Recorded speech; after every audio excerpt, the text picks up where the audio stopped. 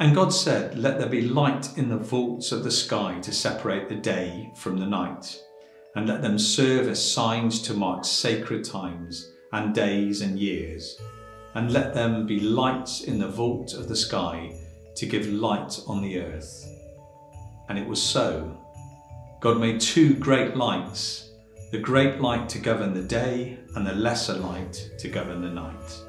He also made the stars God set them in the vault of the sky to give light to the earth, to govern the day and the night, and to separate light from darkness.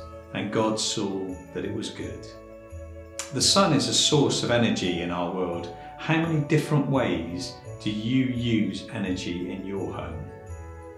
Heavenly Father, the sun, moon, and stars were created by you. Remind us that we were also created by you as part of your mighty plan.